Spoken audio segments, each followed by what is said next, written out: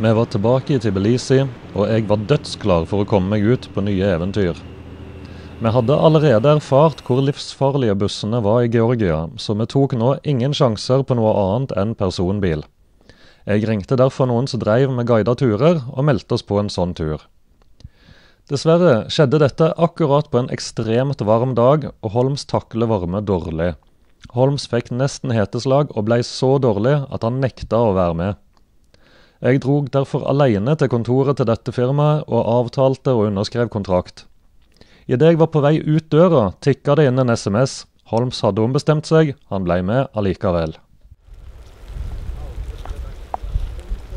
Pakketuren vår besto av en bil, en sjåfør, en guide og en reserveguide.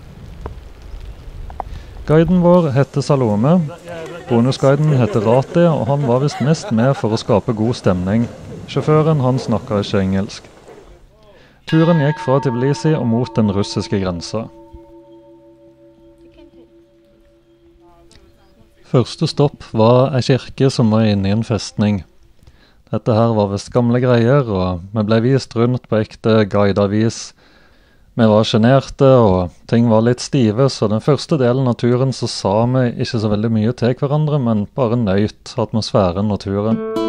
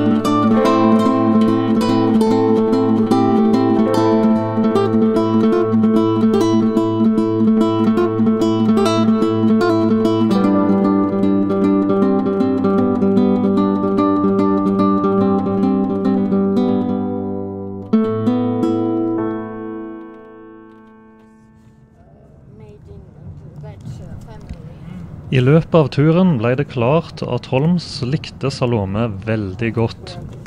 Han kunne liksom ikke få tatt nok bilder med henne, eller snakka nok med henne, eller bare stått nær henne ofte nok, og han så på henne med et fjernt og drømmende blikk.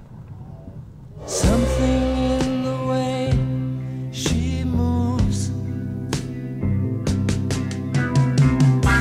attracts me like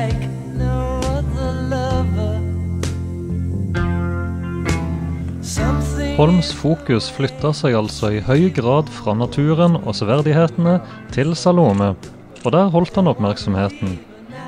Lik ei ørn som har oppdaga et bytte, sirkla han seg inn på òg. Han prøvde også å eliminere potensiell konkurranse fra meg ved å påpeke svakheter ved dagens antrekk. Your t-shirt and uh, sweater matches really good. Jeg forsøkte å være så lite truende som overhodet mulig, og konsentrerte meg om å se på kirkene og landskapet. Siste post på programmet var at vi skulle ha middag. Denne skulle nytes hos en familie som kjørte forbi på veien. De bodde ute på landet et sted, og de hadde diska opp utrolig mye mat til oss.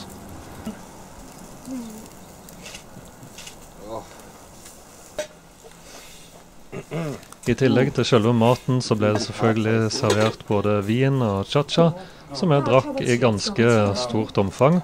Og ganske snart så var stemningen veldig mye bedre, og Holms begynte for alvor å flørte med Salome. Idet vi skulle til å gå, så kom sønnen i huset ut med to nyklekte kyllinger fra hønsehuset. Jeg tenkte litt sånn Er det et tegn? Det var natt før vi kom tilbake til Tbilisi, men eh, Rati og Salome mente at alle hadde blitt så gode venner at nå måtte vi gå ut på byen og ta noen øl sammen.